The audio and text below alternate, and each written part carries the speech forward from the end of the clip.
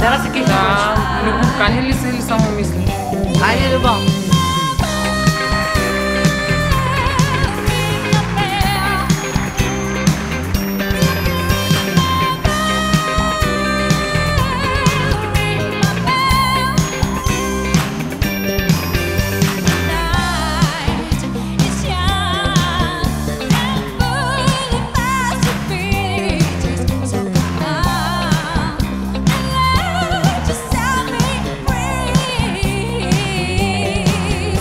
Dzień z